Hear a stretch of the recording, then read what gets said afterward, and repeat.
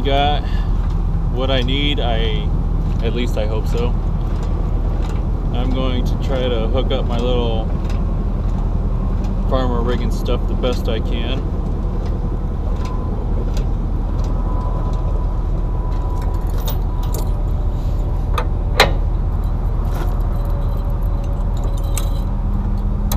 I'm ready to get on the road. I feel like I should have been out of Alabama by now. Too much going on last night.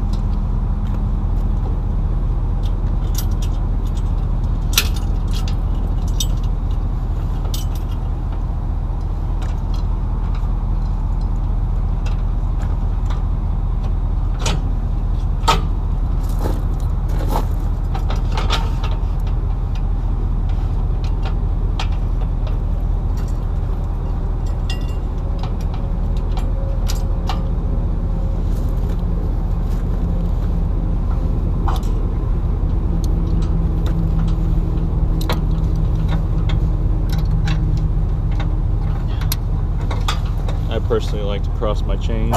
Sometimes I'll wrap the chains up together. So that way you don't take a chance of uh, dragging the chains. I think that's good enough. Where's my, fan- there it is, my fancy little safety cable thing. Man, this thing's gonna be long.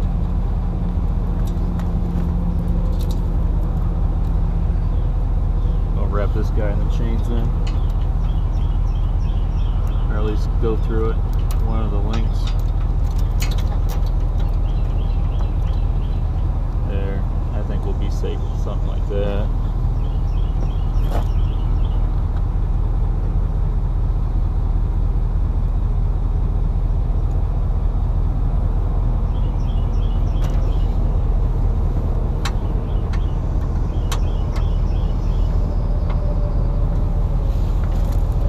Alright, now I gotta go get my little harness. Alright, guys, it is currently 5:01 p.m. Uh, Saturday, and it is currently 32 degrees. I'm in Jackson, Tennessee. Sorry, I was trying to get all my thoughts together. Uh, so I currently have this uh, little trailer that holds those uh, coils or whatever, spindles, whatever you want to call them. I don't know. So I have, let's see here. This thing's saying I'm going to get there about 7:15. Um, I got about two hours and 11 minutes to go yet. Um, 129 miles, it's saying. I'm just kind of looking around because I'm exploring right now. I like, uh, never been to Jackson, Tennessee. So, uh, trying to take it all in.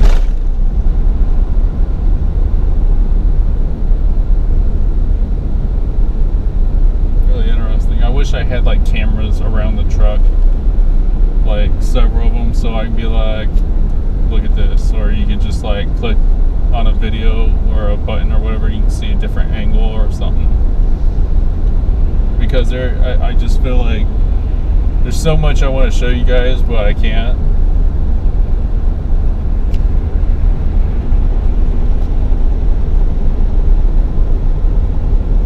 I'm not saying there's something to look at here in Jackson. I'm just saying most of the time when I'm out driving around, there's like pretty cool landscape or whatever, and or maybe there's something going on behind me. Oh, before I forget, been kind of a different day. Uh, right at the edge of Alabama and the Mississippi border, there, I was driving this uh, semi truck put his four ways on, so I was gonna go past him. And then the SUV in the fast lane was slowing down pretty fast, as if like they weren't had their foot on the accelerator at all. And you could see through the, the, the back windows like one of them tinted jobs or whatever, but you could still see through it. You could just see them wailing away on each other, just hitting each other. It's like, what the heck? So I uh, got behind the semi truck. I felt like I couldn't pass them fast enough because the vehicle was going side to side. Um, I didn't want to be behind them, didn't want to be beside them. They ended up In three quarters of a mile, turn right, then turn left. they ended up turning off that highway not long after that. So I don't like it wasn't a one-sided fight. It was definitely both sides. So I don't. That's about all I know. I couldn't see the people when I passed them or nothing. It was different, crazy. Um, and then when I was in Tennessee here, seen uh, this is probably more common. I seen this truck that was pulled over, a pickup truck. It had a couple young guys uh, standing outside. They're both getting pat down by the police. So I can't remember what Podink town that was, but a couple boys getting in trouble. Turn right, then turn left. Turn right. It wants me to turn right, right there.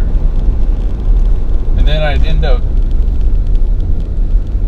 This is stupid. Oh. It wants me to go on this dang highway, I think. Let's see. Yeah, there's the highway. In one quarter mile, turn left. That's okay. We'll take some back streets since we got a short trailer. Come on, buddy, accelerate. Oh, there's a bike. That's why they.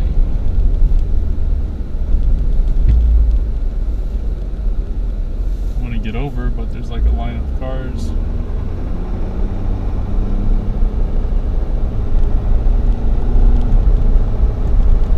Uh, he's like at the trailer. I can't pass him because he's not giving me the room.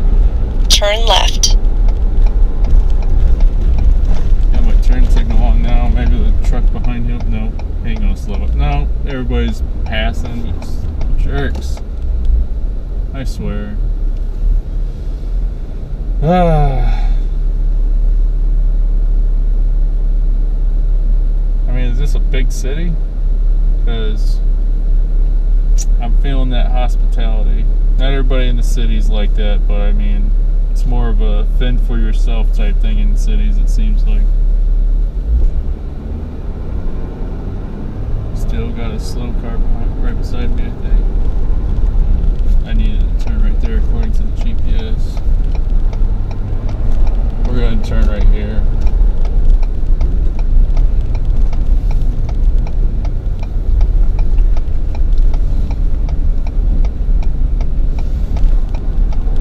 Alright, trailer's still behind me. Alright. Turn left, then turn left. Now the GPS wants me to go back that way. We're gonna go this way. Alright, I stopped at this four way stop first, and that guy decided he was gonna go. Turn left, then turn right. This definitely feels like a city.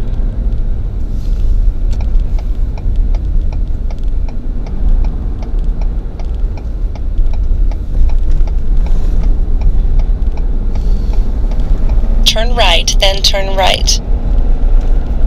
Turn right, then turn right.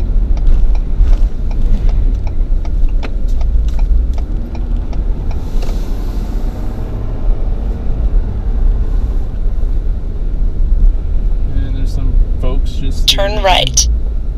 Probably making too much noise.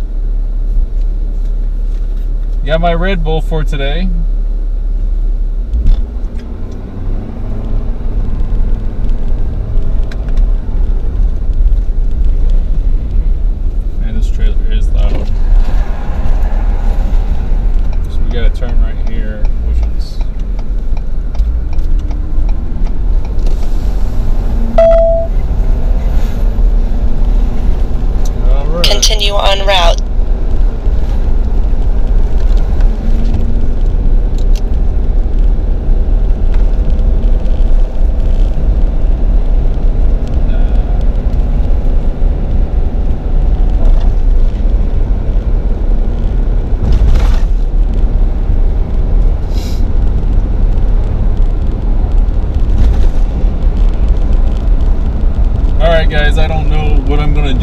I drop this thing off.